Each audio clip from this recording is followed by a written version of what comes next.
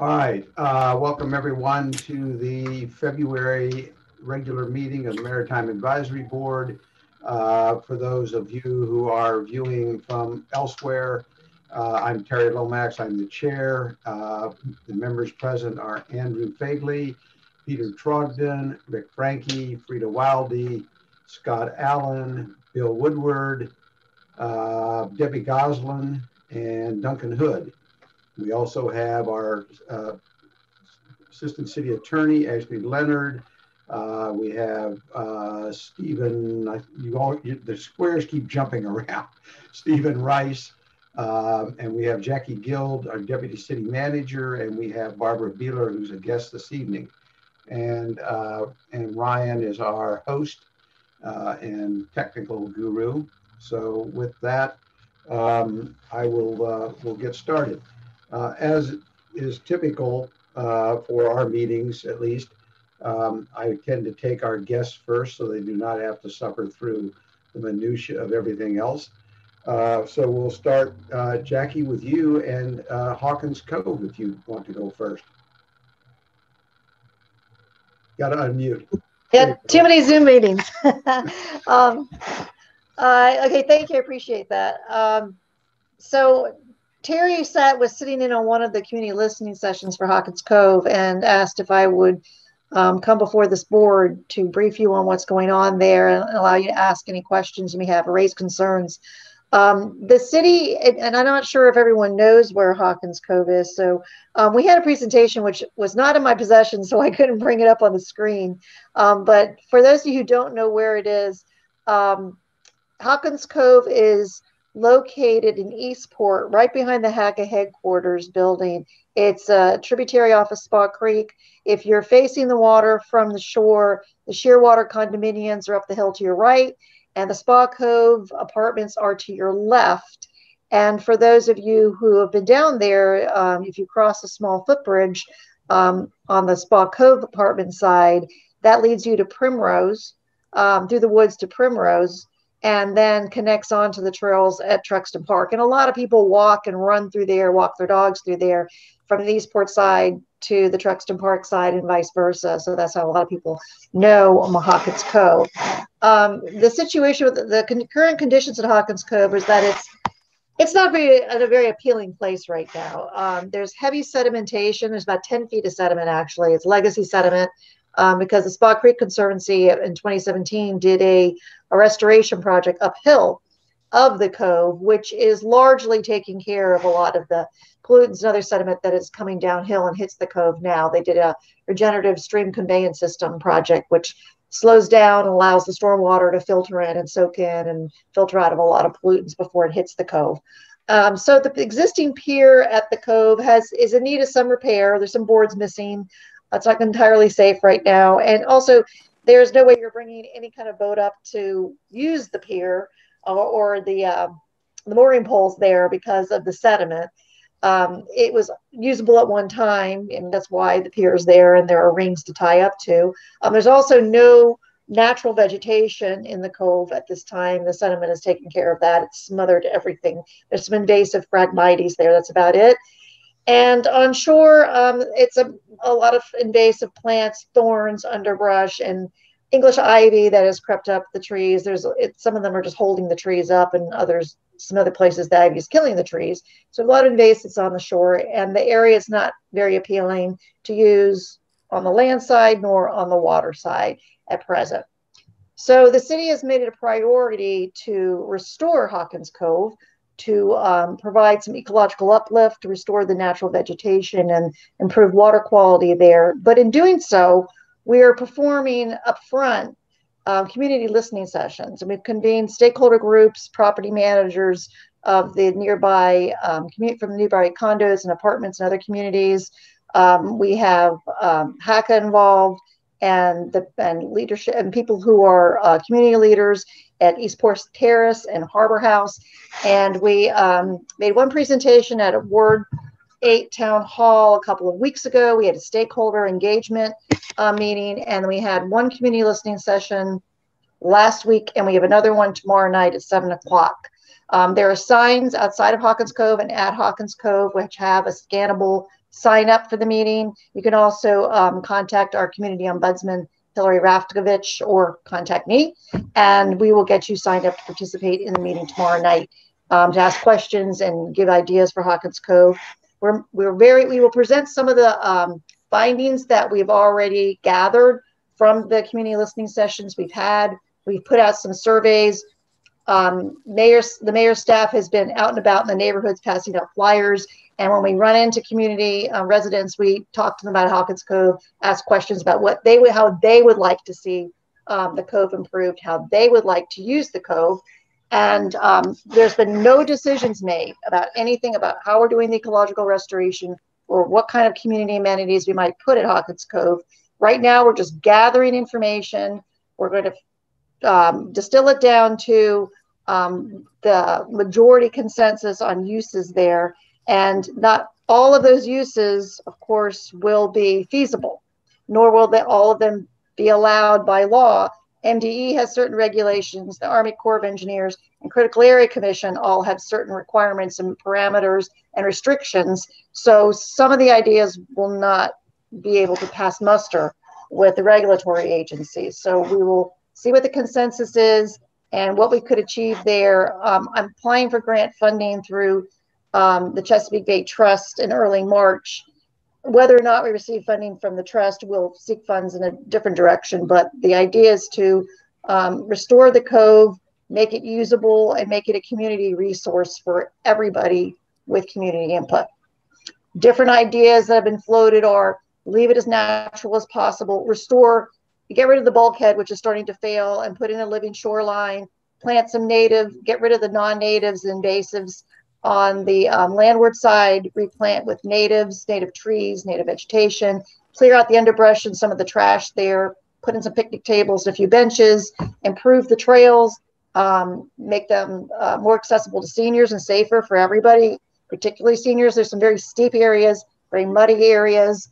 Um, another idea was to um, continue the little bridge that has been put in over the creek and um, put in a sort of a boardwalk that goes through the wettest part, which are wetlands, so that it's safer. Um, the wetlands are not destroyed; they're protected, and it's not as wet.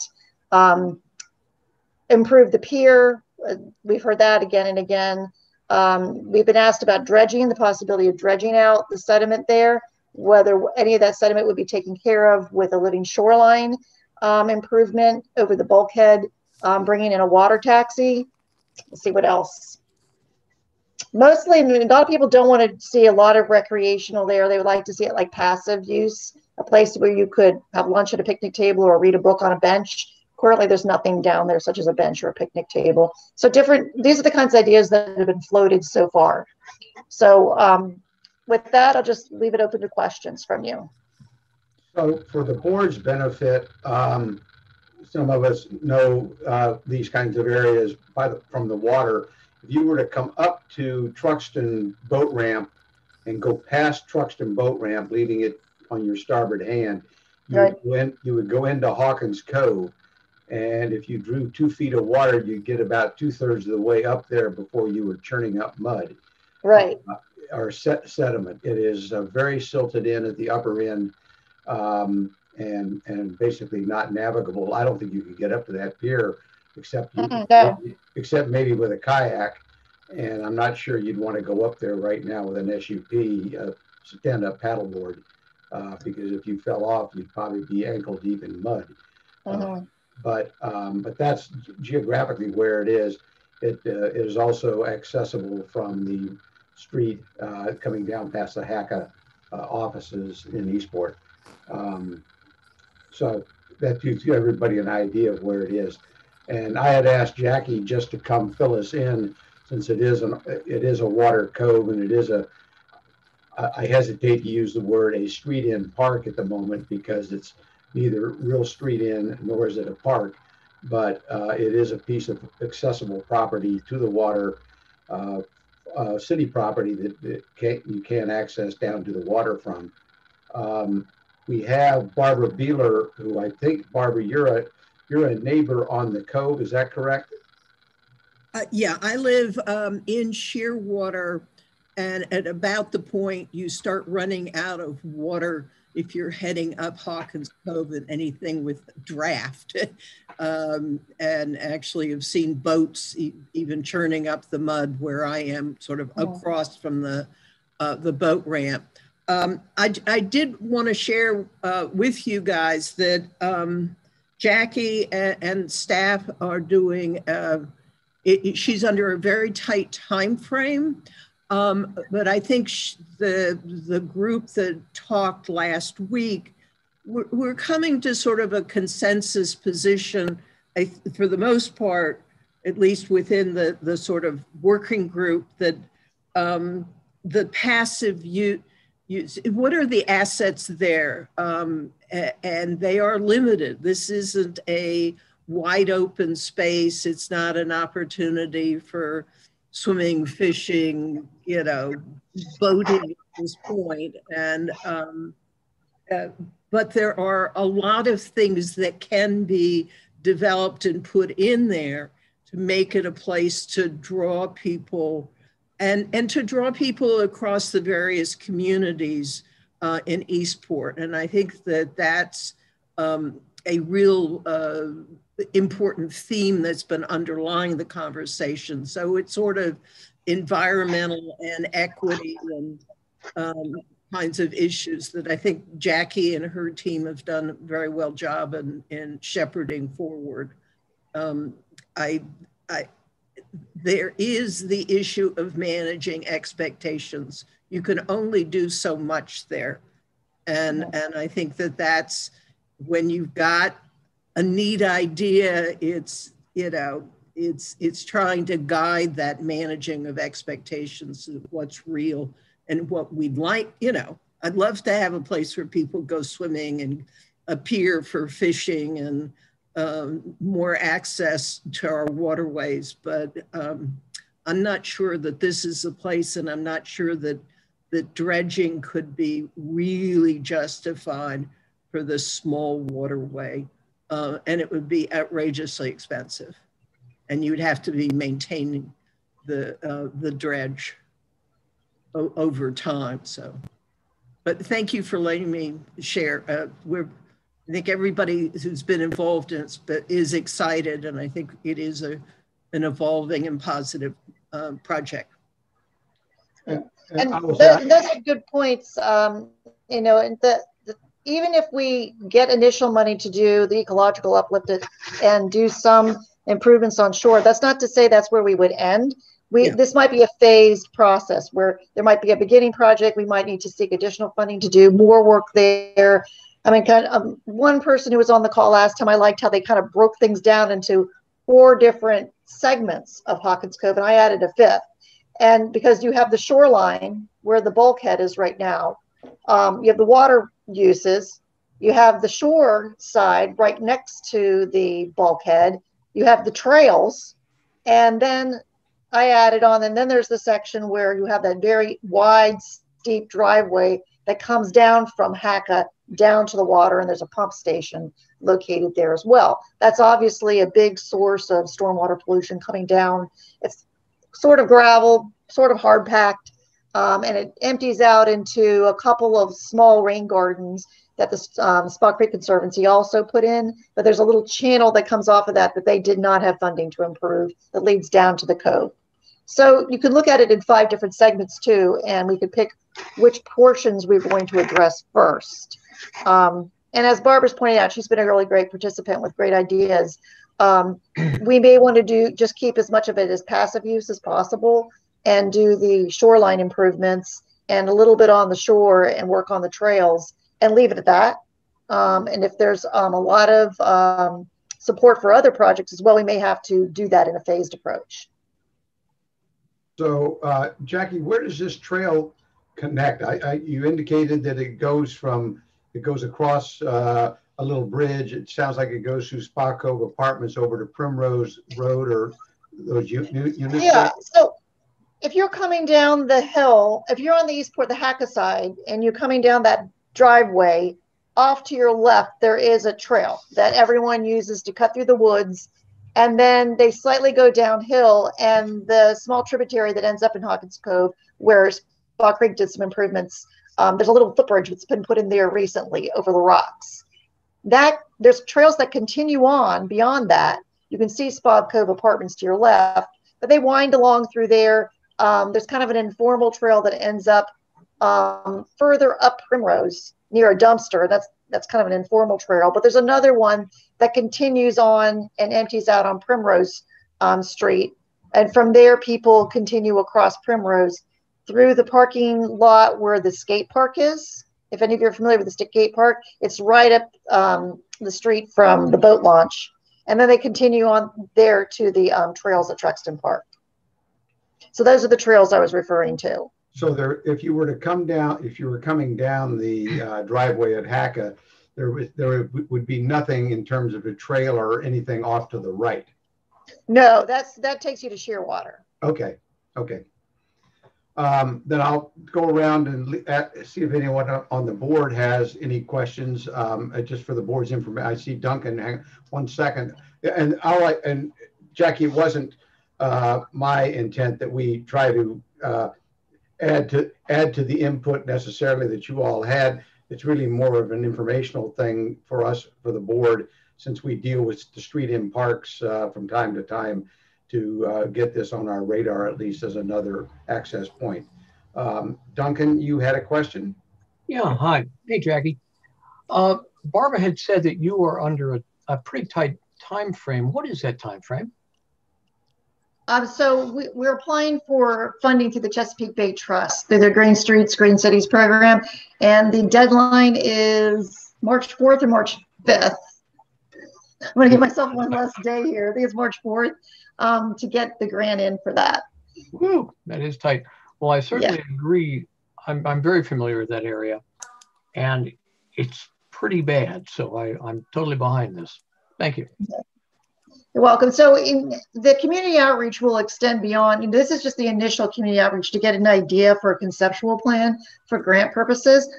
If the grant is awarded and we would find that out around the end of March, um, then we would go on to design. And as part of that, we would pre be presenting a concept plan to the community for further input. So there'll be further opportunities for um, community input. Thank you very much. That's great. You're welcome. Uh, does there anybody else have any questions or comments for Jackie? Yes. Um, uh, Jackie. Scott. Yeah, Scott Allen here. Um, with the Chesapeake um, Bay Trust, have you taken any of the staff down for a walk through there to show them what they're you're talking about? From the trust, yes. Good. Yeah, Janet's been down there. Janet Davis has been down there a couple of times with us, um, with the mayor and Department of Public Works. You know, of course, we have to make sure that we're not running into any pipes or anything like that when we do projects. And again, that could be a constraint where things are located under the ground that we're not aware of. And we could have great ideas, but then we have to work around our infrastructure. And, in, and as far as water access, that's another idea. Is many people would like to be able to put in a canoe, a paddleboard, a kayak, but you really can't do that right now. There's too much sediment, um, and it's pretty mucky. I don't know if anyone's tried to walk in there, but it, it, it you could get really stuck in the, the mud there. Quicksand, yeah. Yeah, pretty much.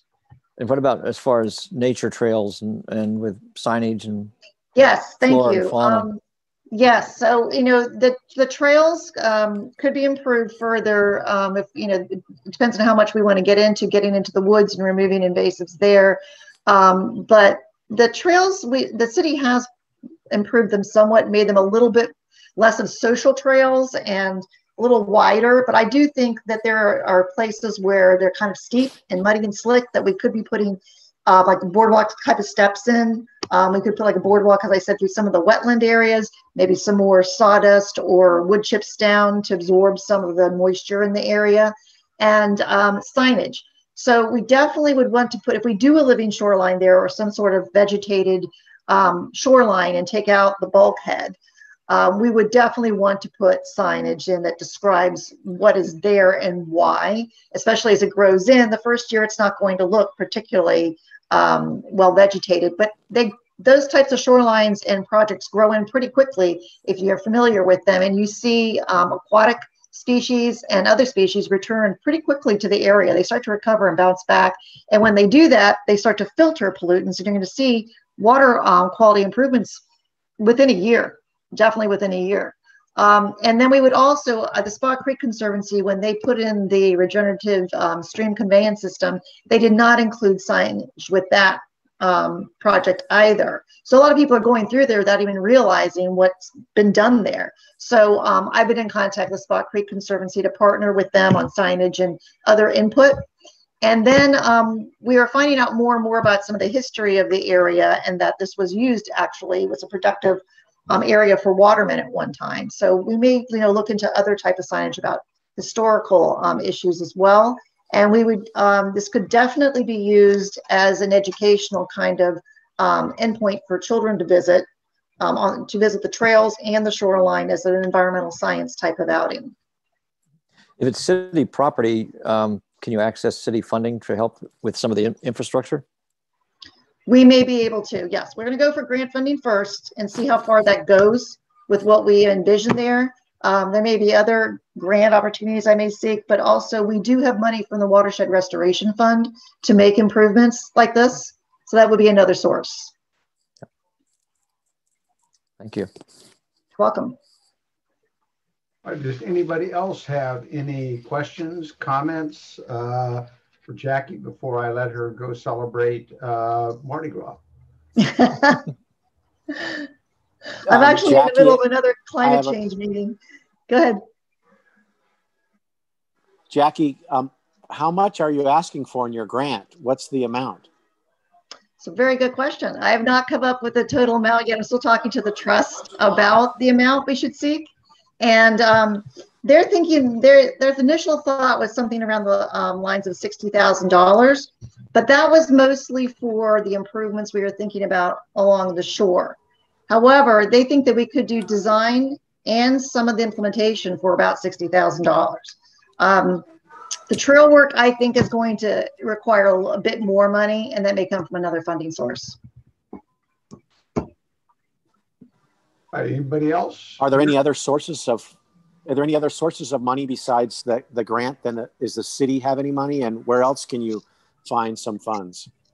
As I mentioned um, just a minute ago, the Watershed Restoration Fund, which is some people call it the rain tax, um, that money is there for us to use for just such projects for um, restoration projects like this. So we have already tapped that initially for a lot of work in the Back Creek watershed and the Spa Creek watershed, but we can add on other projects. Um, and then we can also seek other grant funding. But there's quite a pool of money there. Thank you. You're welcome.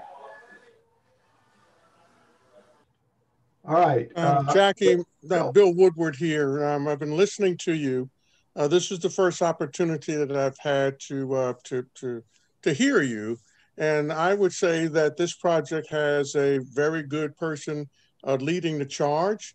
I've been very impressed with you know how you've presented things, and um, I see that you're the city deputy manager. I'm not as familiar as some of the other board members with uh, some of the people that work in, in the city department, but um, I, I, just want to compliment you on your presentation.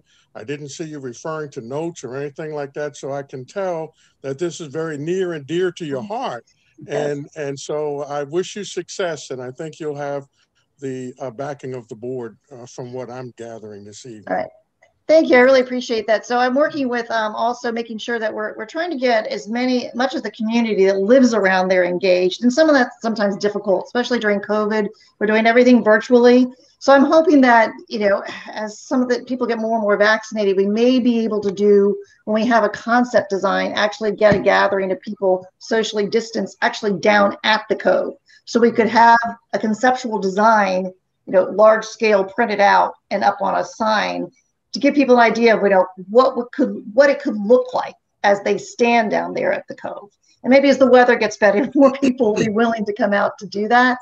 But we've um, we have our African American liaison and our Hispanic liaison working with um, community members. We translated all our materials into Spanish as well. To, to if people aren't coming out and engaging in the listening sessions, at least they have the information and we're hoping that they respond to the surveys and we get some information from them that way. I've been out there quite a bit walking the trails and I run into kids and I run into ladies walking and, and people running and I stop them and I tell them what our ideas are and ask them, you know, how would you like to see this area improve? And sometimes just by stopping people like that, you know, and I know other people in the mayor's office are helping me with that as well. You know, we get a lot of good ideas. We get a lot of good feedback from people who will not, you know, come to a Zoom meeting or come to a meeting in general. So Jackie, would it, would it, and I don't know what, what the particular grant process is for the Chesapeake Bay Trust, uh, but would it be helpful if there is a resolution from this board supporting uh, the project? And if so, um, we could certainly, I suspect, do that. I don't know whether that's something that would be helpful or not. It would be helpful. And, you know, a letter um, of support from this board would be helpful. All right. Um, hearing unless there is an objection, I'll put together a letter. Jackie, if you just send me information on where to, who to address it to, et cetera. Yes. Um, and I'll circulate it around to the board, a draft around for everybody to, to comment on, but uh, we will get that, get that in. Okay. I really appreciate that. Thank you. All right. Does anybody have anything else? All right. Well, with that, uh, Jackie, thank you very much. Barbara, thank you very much for your input. Uh, and um, we will conclude the discussion of Haw Hawkins Cove and move on to our regular agenda. All right. Thank you very much. Okay. Good night. Um, Look, we'll start with the uh, approval of the minutes from January, not December. Uh, I will uh, tweak the agenda for that, but um, is there a motion to approve the uh, minutes from the January meeting? So moved. Is there, a- thank you, Debbie. Is there a second? I'll second. All right, Mr. Frankie seconded and all in favor? Aye. Aye. Aye, aye. Aye. Aye. Minutes are approved. Um, Turning to the, uh, Rick, Frankie, the, any update from the MAIB, MIAB? Okay, uh, thank you, Terry. And for a change, I have something to report this time. Um, the re- the uh, economic study has been completed. All the final drafts were approved, and it's back in the hands of the uh, uh, of the board. And I'm sure will be released within the next couple of days. But um, I did get permission to share it with you. It is a 28 page document, so I did not send it to you. Um, and I'll talk to Terry probably. Terry, I'll try to give you a call tomorrow. I think I figured out how to get it to you so you can distribute it to all of us. Okay, Um, or if there's a link, if there's a link, uh, just give me the, Yeah. link, you know, a, a, a website link. Right. So, but what I would like to do, since this thing is has gone on for so long, uh, there it has generated some interesting numbers, and I'd like to share just uh, uh, a little bit. Basically, the last paragraph, really, of the executive summary of this 28-page document. And you need to remember that this, um, the bulk of the data that went into this is 2018 data, and the um, the data gathering and a lot of the study was completed just before the COVID shutdown started. So it, although there is reference to it in a couple of places in the report, there's no attempt to reflect what COVID has done to and for the recreational boating industry, which, as we all know, has been enormous. Um, Okay, uh, now I'll quote, I'm just going to read directly from the uh, report. When properly defined, the maritime industry directly supports 5,700 jobs and more than $274 million in employee compensation per annum in Anne Arundel County. Once multiplier effects are considered, Anne Arundel County's maritime industry supports an estimated 8,600 jobs, $416 million in annual employee compensation, and nearly $1.2 billion in annual economic activity. And a couple of other numbers that are in here, not in this, this paragraph, but are in the, the summary uh, that's uh, included here is 16 million in county tax revenues generated by our industry, Um, 96 million estimated in annual in annual expenditures by recreational boaters. And this number, which I really found very interesting, uh, is based on studies going back to 1980.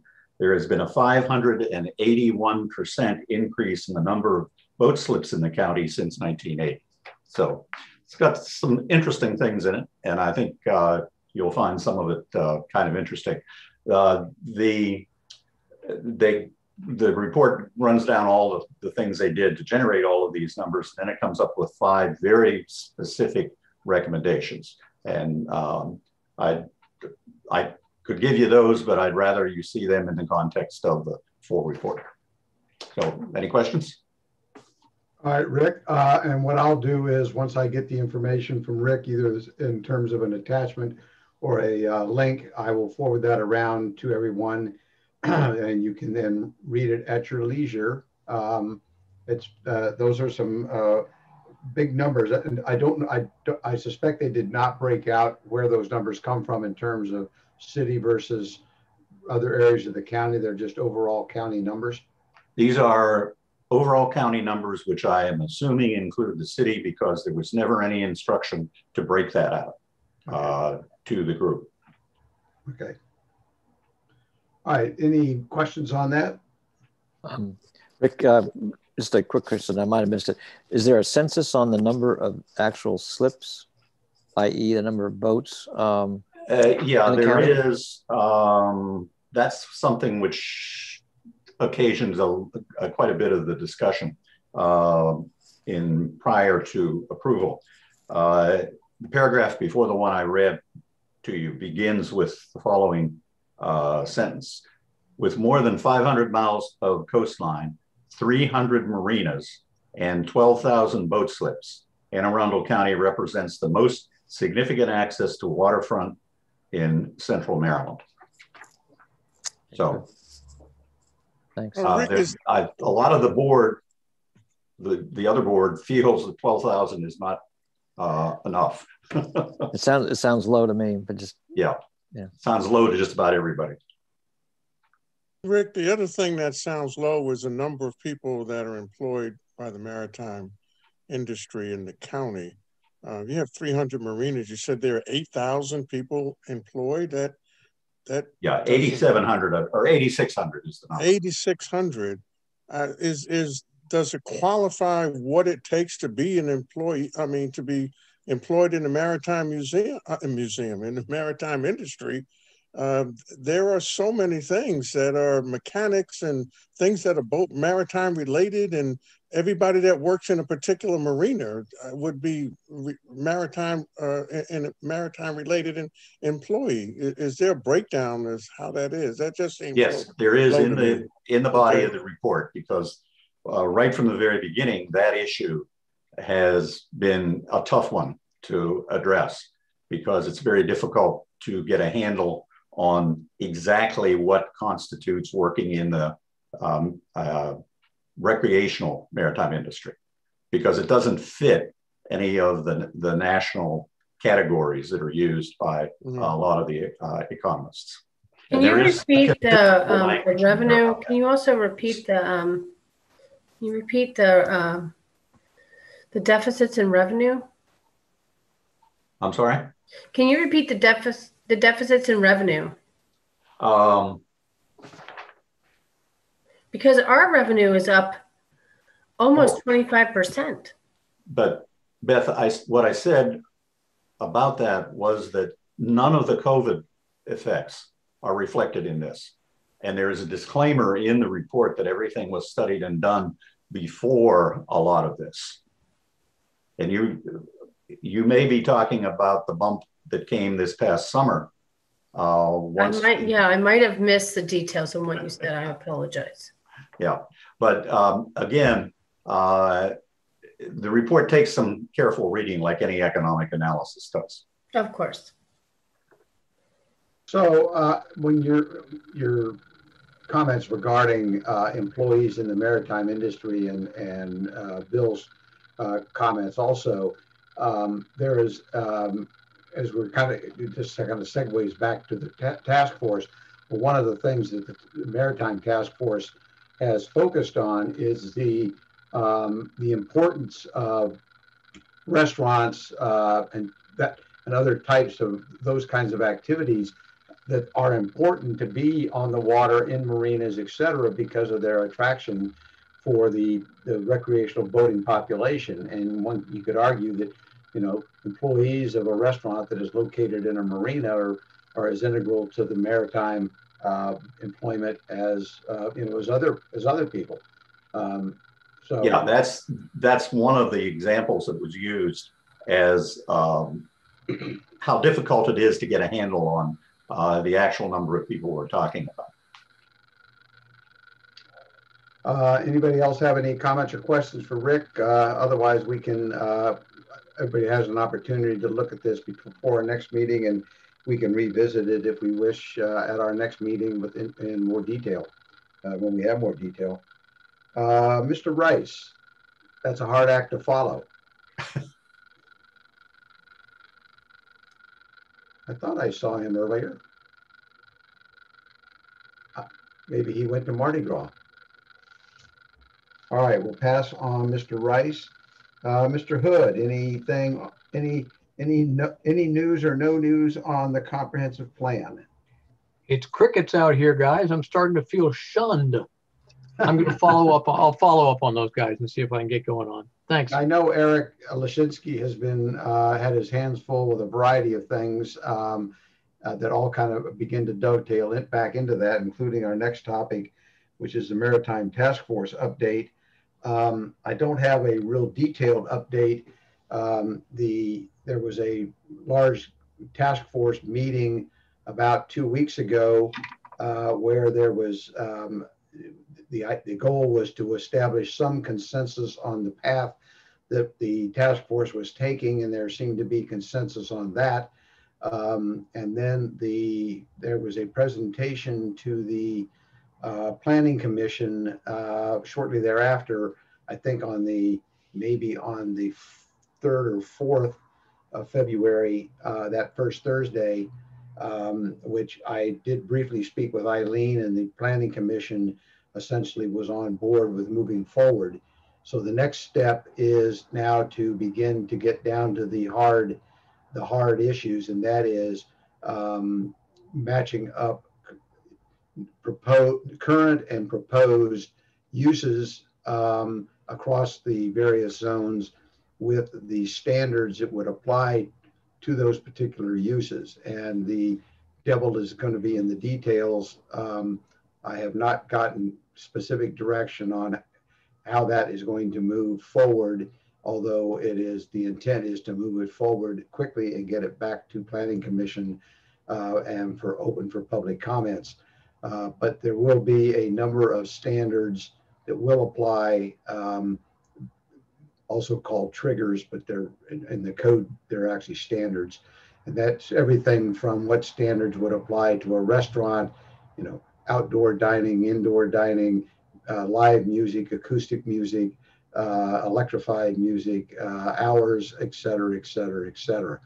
Um, and so, but I think there's going, there's, it seems to be consensus on the broad categories of uses.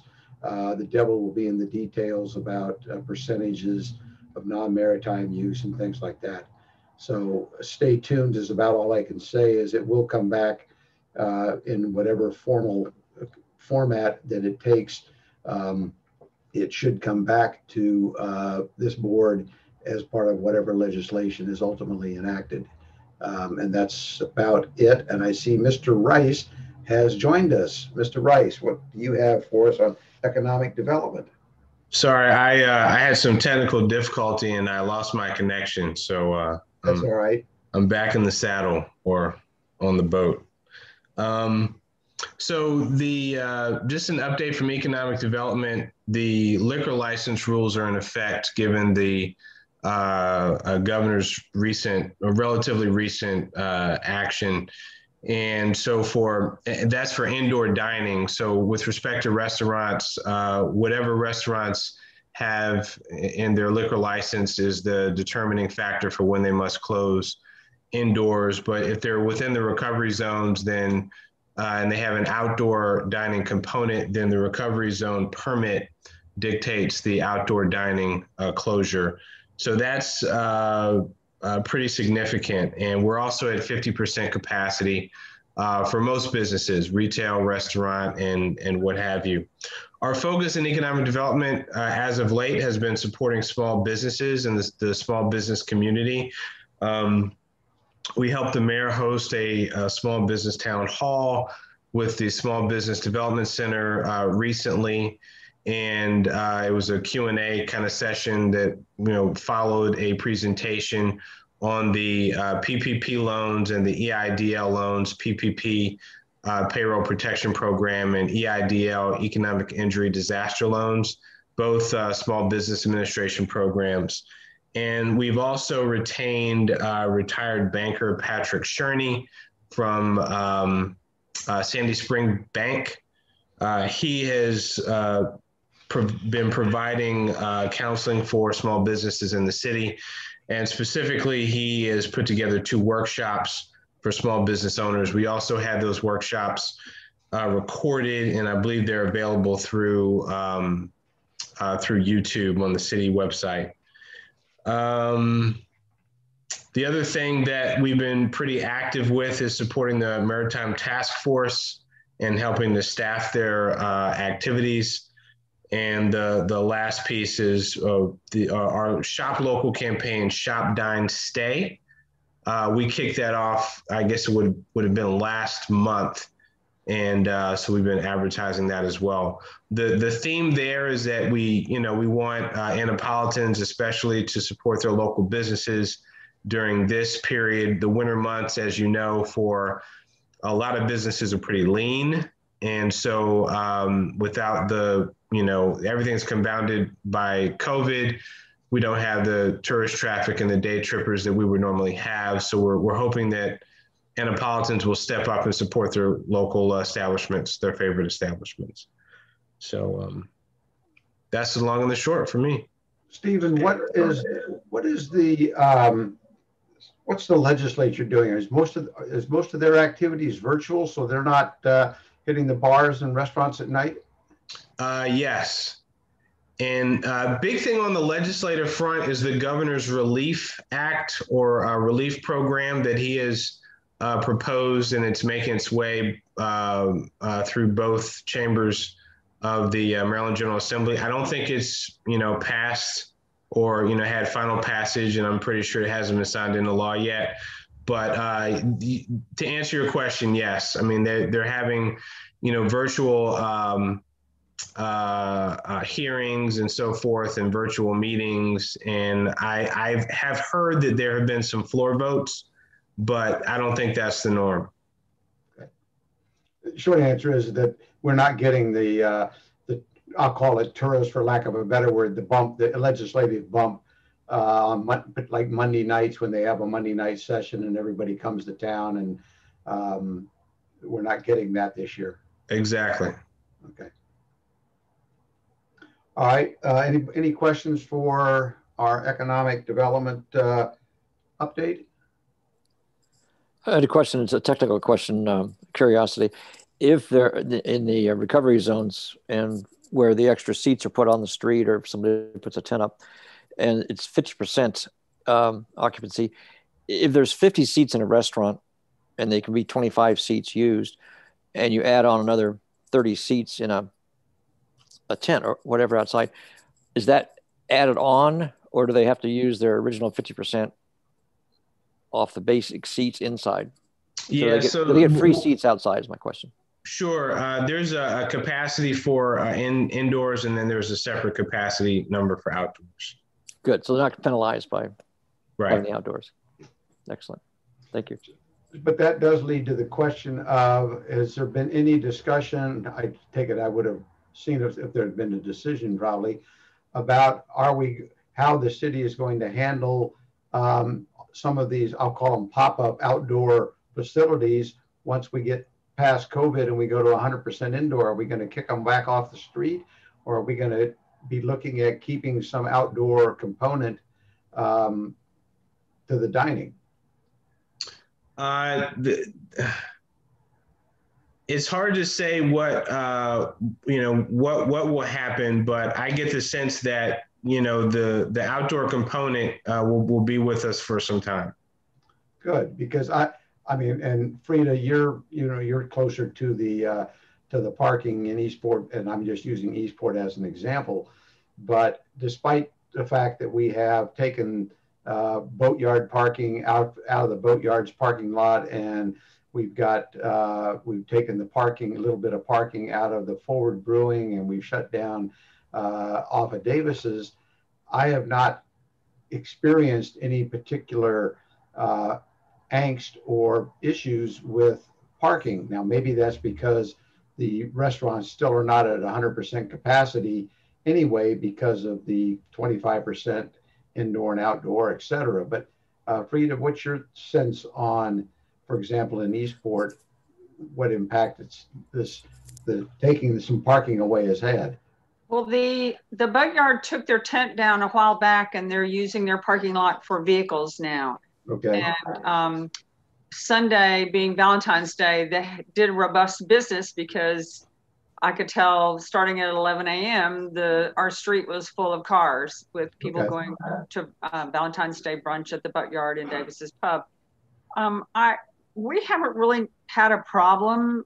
You know, it's of course it's February and it's cold. We'll see what happens in May, you know, or June. But um, I'm I'm grateful that Davis's and the Boatyard and Forward Brewing they have enough business to keep going because I would hate to see them go under um, with everything that's going on right now.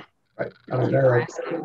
and and that's and that's that's true with you know some of the other areas in town too. I mean, even downtown, um, it's, it's, it's just an interesting how um, the sky has not fallen, so to speak. Yeah.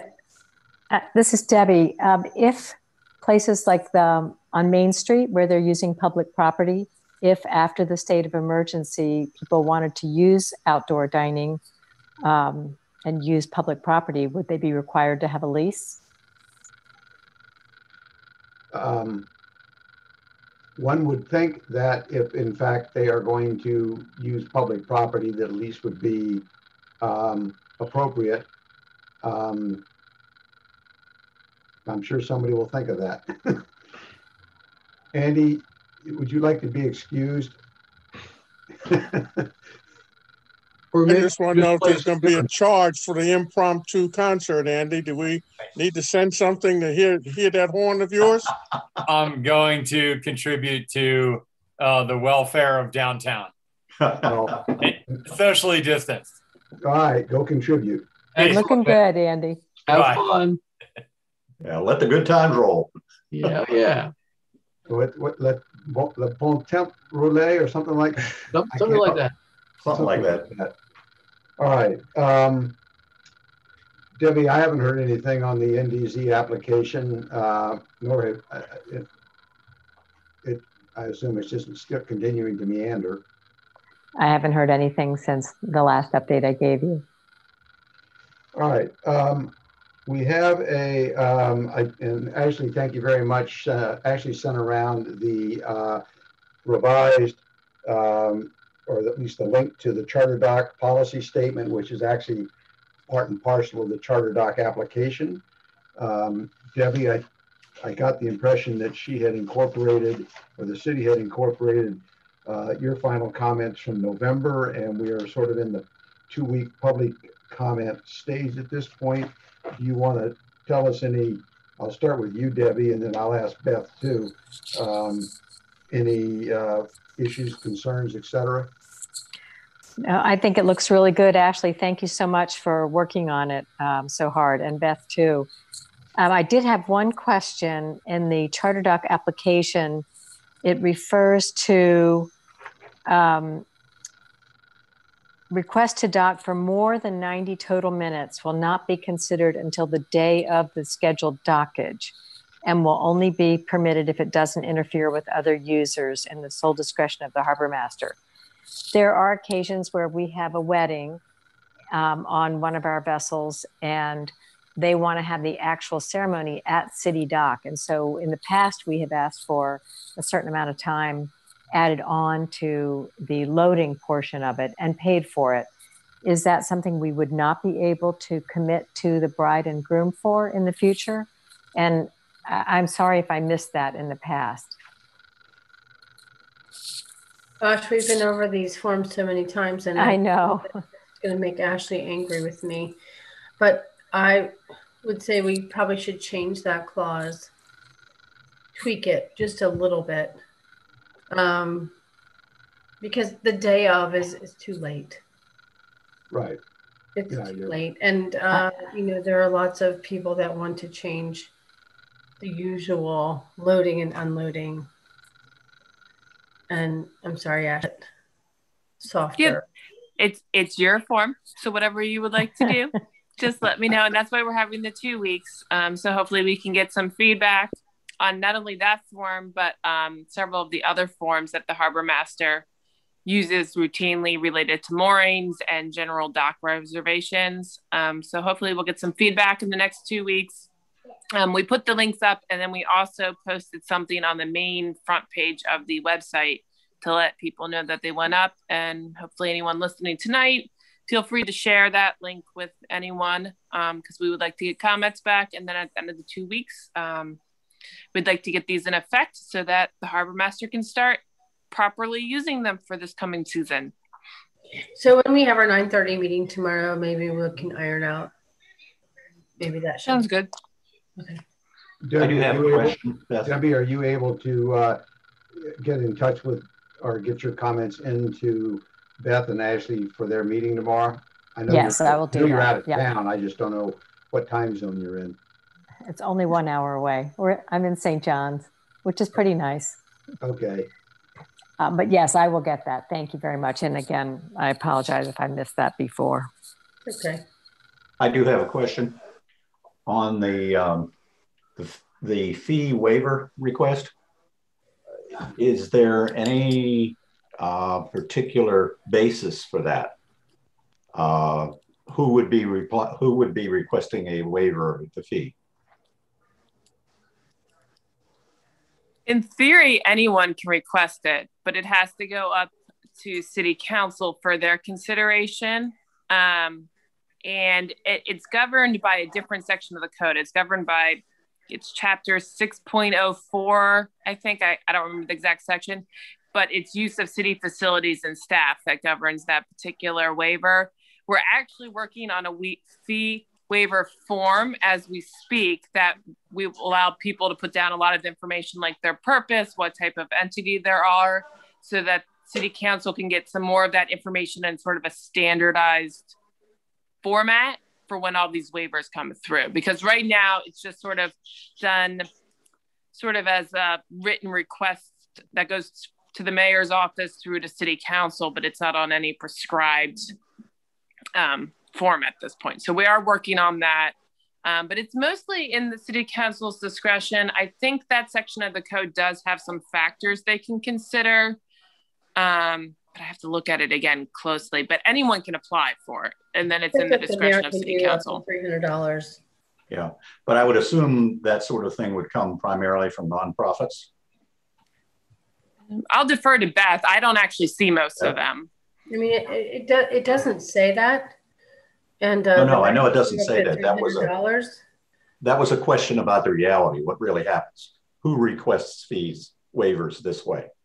Is so what what really happens is it's mostly nonprofits, but we have had some that are not nonprofits or not for profits, and I'm not entirely sure I understand the difference between the two. Uh, and the mayor can do up to three hundred dollars. And I think that if you're not a nonprofit or not per, not for profit, um, it would be more likely the mayor would give you that three hundred dollar waiver. Um, so we can talk about the differences as we create the form. Okay. Thank you. I have a question. This is Peter. I know the, uh, I believe the city has a lease with the boat shows in the spring and in the fall with those dates uh, in the lease. Does it make any sense at all to, uh, to in that in that request with the charter dock to to say that those those dates aren't available? Um, we could, but the date under those leases, they actually have the option to extend or adjust them up to within a certain number of days. So it's hard to put that out too far in advance because there is some flexibility for the boat shows. Okay. So, so but I, I do think we try to put it, it out happens. there. Yeah, we do. I think try to put it out there informally that that's when it's coming and announced. But there is some flexibility in the lease documents about moving dates around a little bit. Okay. Thank you. All right. Anybody else? Uh, Ashley, while I have you, anything uh, update on the Burtis house? No, I keep prodding on um, all the field work is done on the, the surveying, um, but they're still writing everything up and drawing everything up. So we haven't gotten that yet. So we're still in that stage. All right. And um, Beth, anything more on other than Hawkins Cove, which we already heard about, uh, on street end uh, park upgrades and updates? I mean, I can give the group an overview. There's essentially seven projects, and it's a lot. It's kind of a lot to speak about. So, Tucker Street um, would like to have a new ramp, and there's money set aside for that project, and that's not grant funded. So, they would like a 12 foot wide down to a four foot mean water uh, ramp. Uh, gosh, I'm trying to remember all of it with a, a floating dock, and that's that's all been uh, preliminarily approved. Um, so Tucker Street is one project, and then um, we're working hard. We finished Lafayette. We're working hard on La, uh, Cheston. So Cheston's going to get an entire new bulkhead rain garden, um, floating dock, and that should be all grant funded. Sixth Street is a little bit of a crapshoot because uh, the architecture and engineering is funded, but we're not sure if the dredging will be approved.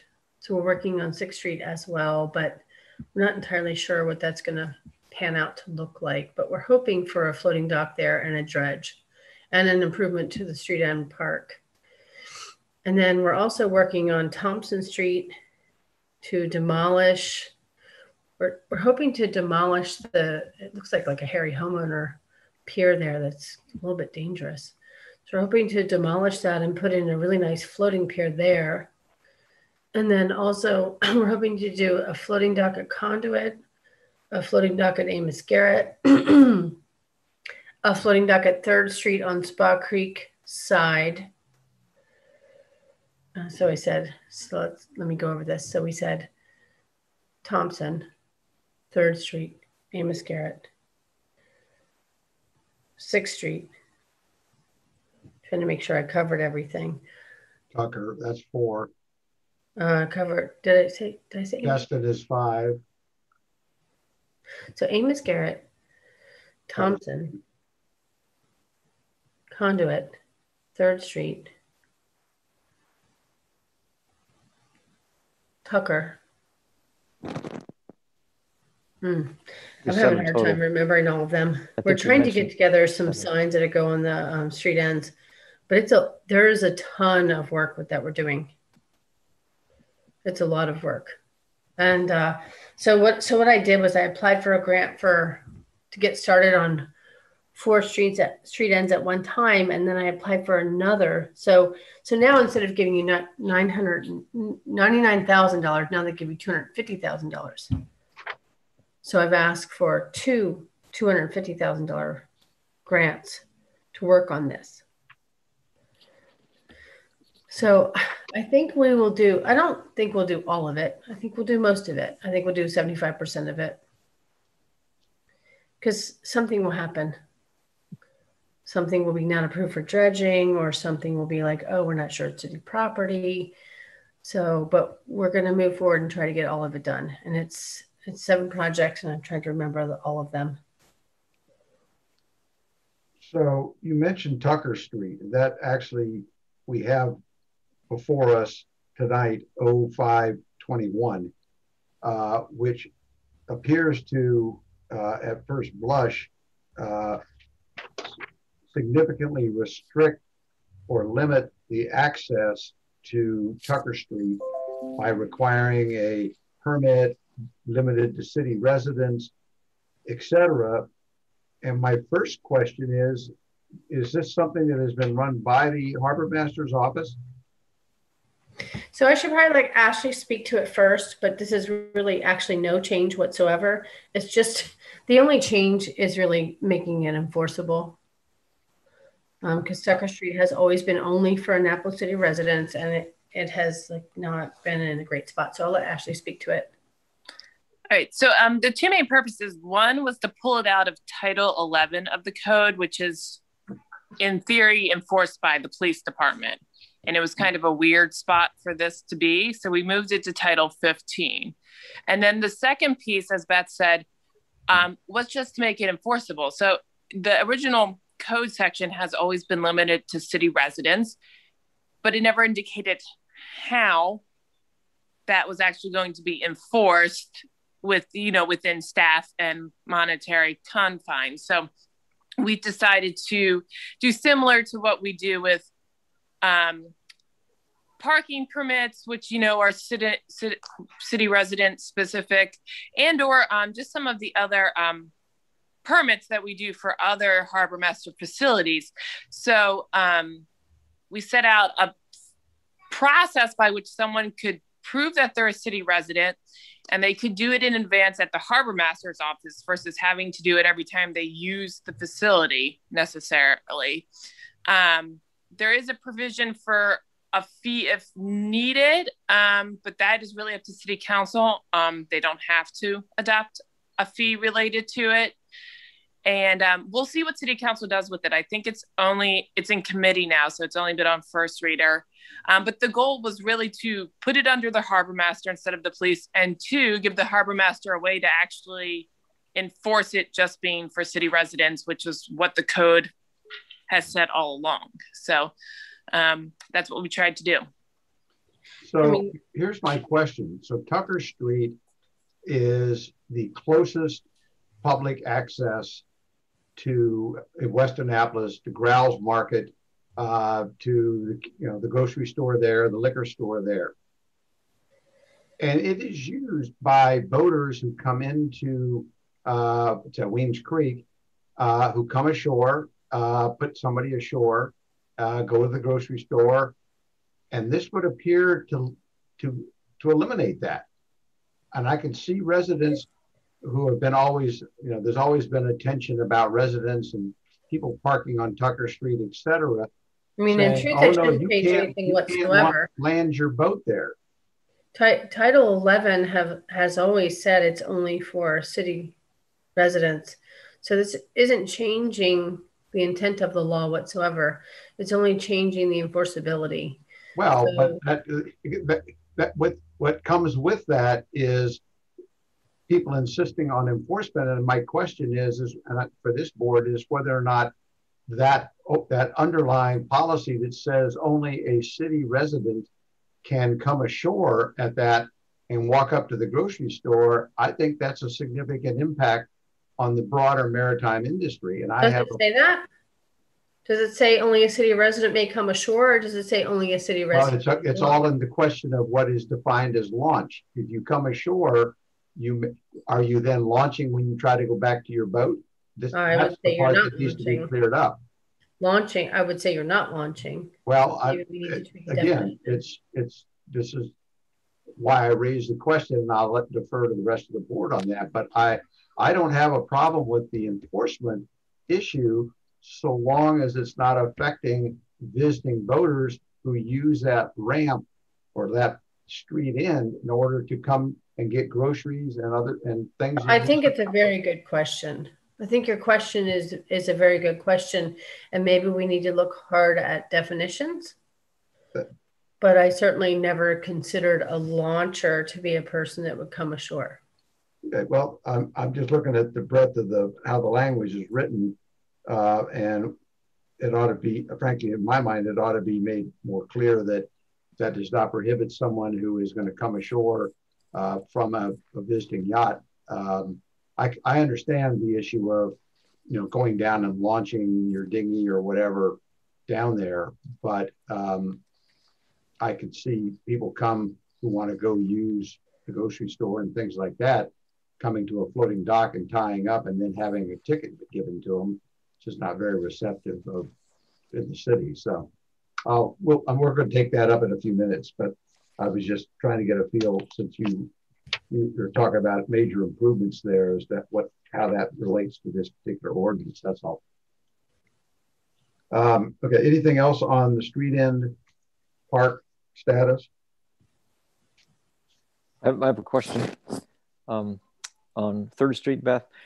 I understand that that harbor master and your, your funds that you're getting are for the water side activities. Third Street is a little bit unique, a little bit like the end of uh, near Davis's pub, that little park across the street. The city seems to maintain it, and inside the bulkhead on the city side, land side, the the street there is under, underwater about half the time. But I've, I've gone down on business down there a lot, and you can't access walking along there, park the cars in the last parking space. Will the city help um, maybe raise the end of the street a little bit? Has that been looked at at all? That would probably be a question for Public Works. Our grants are quite minimal. Yours is water side. I, I, can understand that. This shouldn't be. So to, for two hundred fifty thousand dollars to do four street ends, even if it's uh, half a million dollars for four street ends, um, you know, the engineers would have to weigh in on that, and I wouldn't. I wouldn't be able to speak to that. Right, uh, Terry. Should we maybe put that on a list? Send a, send a note to Public Works because it does affect the uh, access there, and I don't think it should be in Beth's budget to have to take it out of her budget because it's, it's land side, so to speak. The land needs to get raised a foot or two, and it could be done fairly easily with the street end with paving and re- relocating the access to the driveways and parking lots there. It just seems like that should be a, a land oriented fix.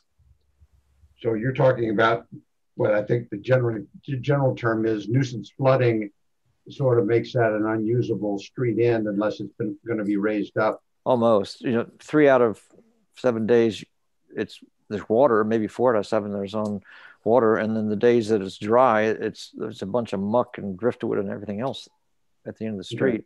So it's you can hardly walk on it with walking through junk and mud. All right. I just made a note to reach okay. out to uh, Public Works. Um, who's the who is the director of Public Works these days? Uh, somebody know? Who is who? Who's the director of Public Works now? It's Michael Johnson. Okay, thank you.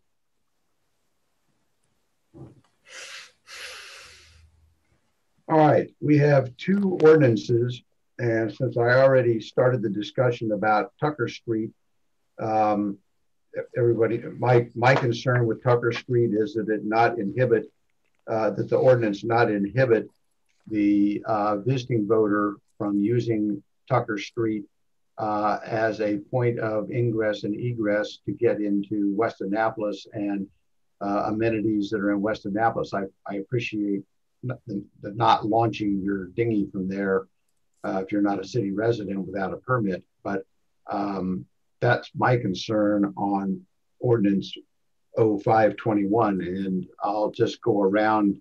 Peter, have you had a chance to look at it? And if so, any thoughts? Uh, thank you. No, you know, I haven't taken a close look, so I don't have any comments. Okay. Rick? Um, I think that somehow or other the issue of access to cruisers needs to be addressed. Other than that, um, I don't have a problem with it. Uh, Frida. Where is this in the legislative process? Is it in a committee right now or is it being ready to be voted on by the city council? What stage is it at, Terry? It was just introduced a week ago, uh, actually last Monday. Um, and um, and I had asked the sponsor, Alderman Tierney and Alderman Paone, to refer it to the MAB and we would look at it anyway. Likewise, um, with 0321, so it's, they've been referred to committee. It's environmental matters, public safety, transportation. Uh, so it's just in the early stages. It just was introduced. And it's the same thing with 0321 or yeah, 0321. So, um, but I, I, have made a note about the, the cruising access. Uh, and uh, Frida, do you have any other comments at this point? No, I'd, I'd just like to educate myself a little more about them before forming an opinion, but um, but it's something, especially the Tucker Street one, I would be interested in, in learning a lot more about it. Thank you. Okay. Scott? I, I'd follow Frida. Um, I think it's a great idea.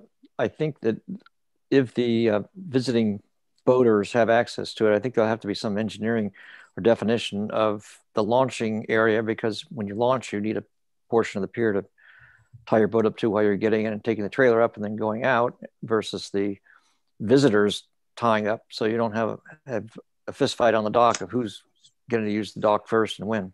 So there would need to be, you know, careful consideration, I think, to earmarking an area for the launchers that launch the boat because they have to tie the boat up until they park the car and for the visitors so that they don't encroach on each other. Maybe the pier has to be made long enough that both can happen without somebody duking it out. I don't. I don't really think it would be different than any other launch.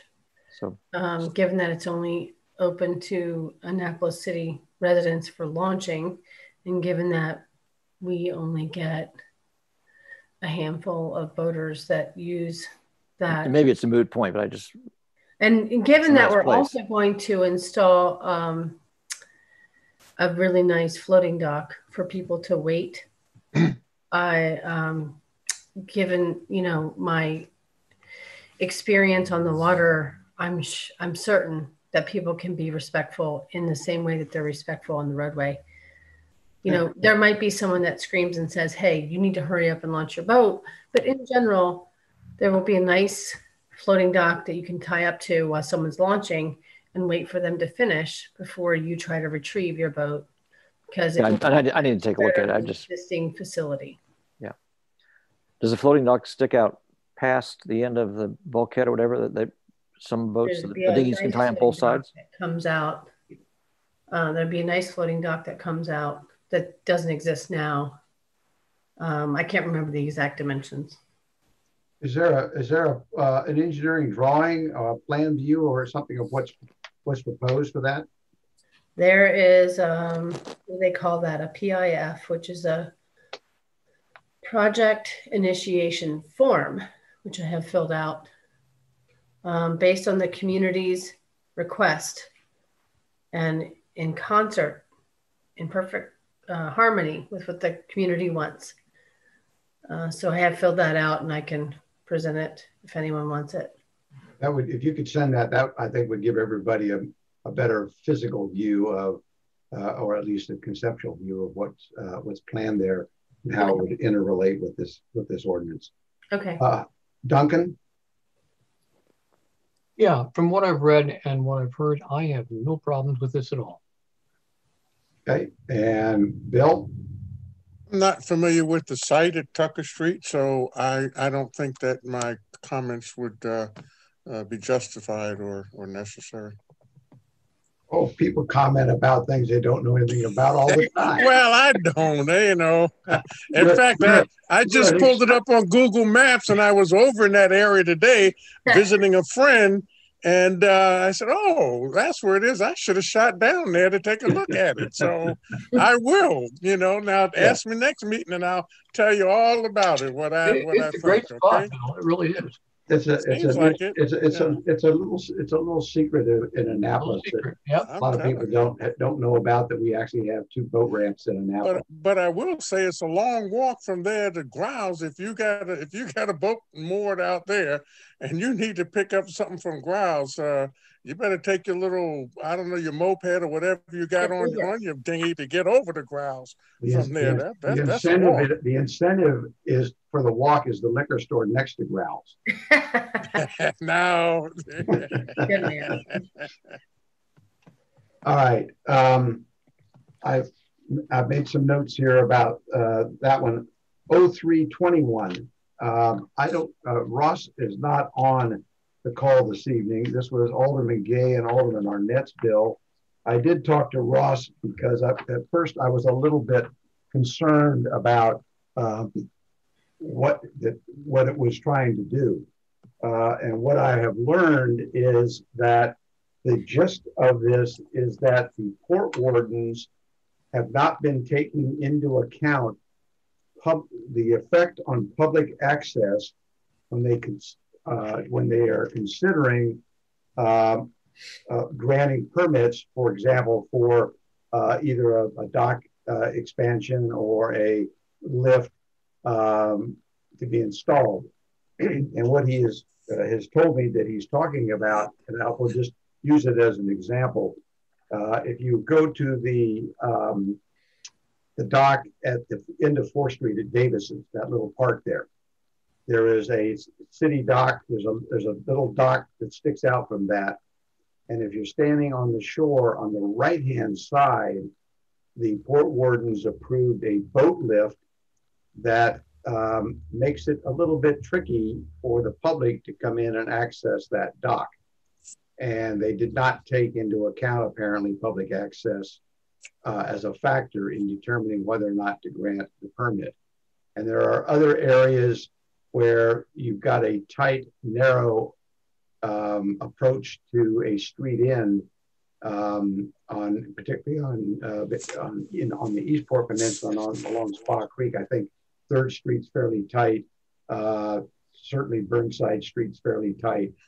And I am told by Ross that the uh, purpose of this is to involve, is to require the port wardens to take the public access from public property into account, either either from public property or from a, an easement. Uh, there are so, there's a couple of areas where there is actually an easement for public access. It's not it's not city property, but it was part of the development scheme. I think it's in Wells Cove, maybe. Um, that in order before you can allow uh, before, before the port wardens can allow development of a erection of a uh, any, a structure or construction of structures or other barriers within the developable waterway, um, they have to take they have to make a specific finding with respect to effect on public access. So um, it is less, uh, it became, once with that explanation, it became less of a concern to me uh, than what I first read it as is that any private citizen who wanted to put a docket there uh, out their bulkhead uh, would have to make provision for public access across their property, um, which it, it, turns out that is not the case with this ordinance. Um, it is only limited to um, the that it would not interfere with the navigation between the shoreline of any public property or easement area established for the benefit of the public. So that's its um, that's the genesis. Actually, do you have anything to add? I misstating what I think now is what I understand now to be the purpose? I honestly have not read this legislation in full yet.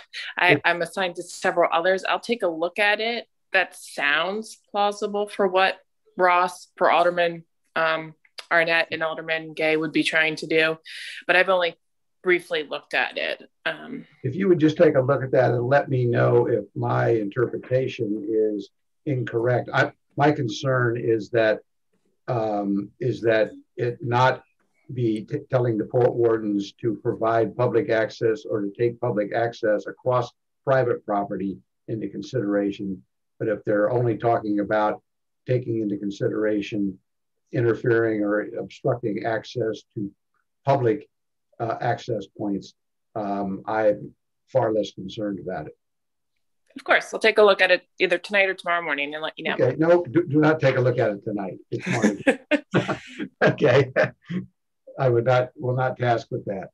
Um, right. Terry, can I ask a question? It's Debbie. Yeah. Um, why do lateral lines not control the situation? I, I think they would. And I asked Ross that. The problem is, is that the port wardens somehow seems to think that uh, that they don't have to take public inter- obstruction of public access into their thought process. But if you have riparian rights from lateral line to lateral line and out to the harbor line, um, as long as you stay within those, how can the public access be impacted? Well, I think part of the problem is is that they're certain of the approvals do not stay within necessarily within that, or they come out to the five feet uh, with they encroach the five feet. Huh. Yeah. Well, it's going to create fights, I would imagine. Well, it might, uh, and that's why I'm trying to understand what it's what what it's. I mean, I'm I'm reading this only. I only read this three days ago.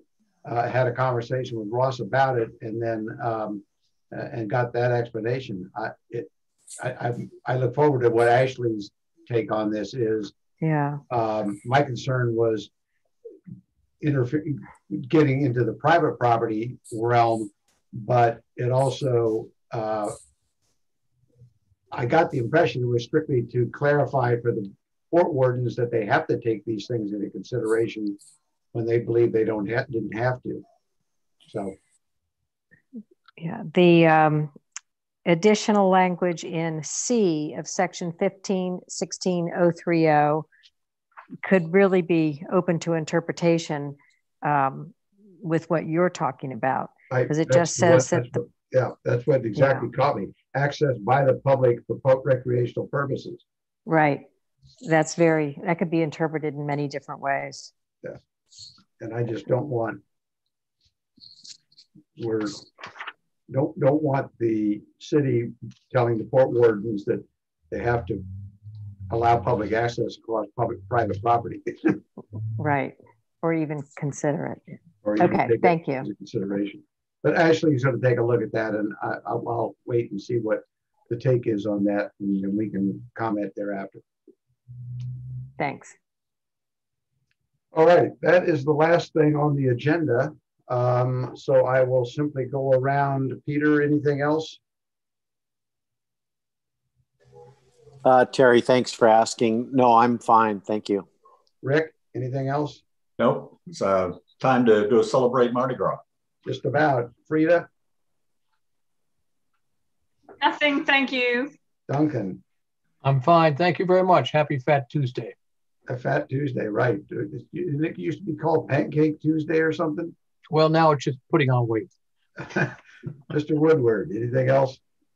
Uh, I just want to know if anybody knows where Andy went. Uh, I'd like to go down there maybe, but no, I'm fine. Thank he you. Went, he went to out on the street in front of Red Red Wine Bar on Main Street, I think. Oh, okay. Sounds sounds, sounds cold good. to me. Scott, um, I'm good. Thank you very much. Debbie. Nope, nothing else. Thank you. And since you're the last one to speak, I heard a motion to adjourn. Yes, so moved. Second for me on that one.